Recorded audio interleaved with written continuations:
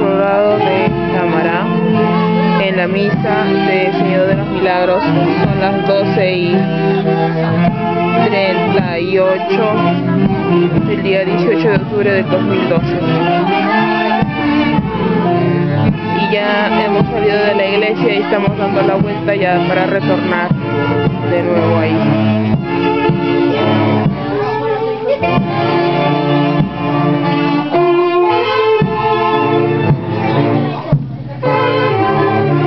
están las cajueleras.